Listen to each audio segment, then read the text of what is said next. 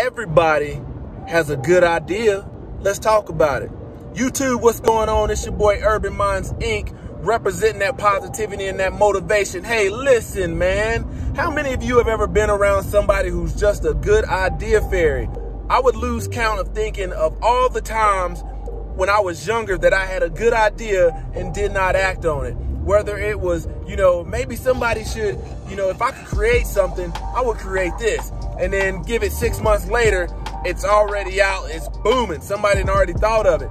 You know, good ideas are nothing but thoughts until you activate the thought. You know, put it in play, put it in motion. It may be you have a good idea to do something in your own life. You know, I want to get my finances together. I want to do X. I want to do Y. I want to do Z. But they're just thoughts. They're just, you know, words murmured out of your mouth, thoughts going through your head until you are willing and ready to act upon them. You know, uh, people often have dreams and they wake up, man, I had a, I had a, uh, premonition. I had a dream about, you know, X, Y, and Z.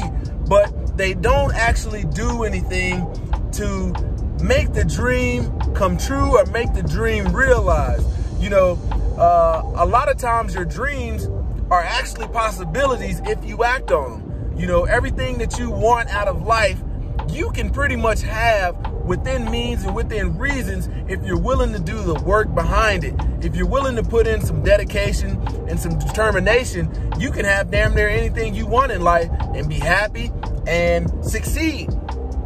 So don't waste your time, you know, entertaining and listening to people that are good idea fairies. And don't you yourself sit around and be a good idea fairy because at the end of the day, your body of work will just be you had good ideas that you didn't act upon. If you act upon any one of your ideas, any one of your dreams, and you fail at it, you'll be that closer to succeeding at it because you know what not to do. Don't forget to comment, like, and subscribe. Holla back at your boy. Peace.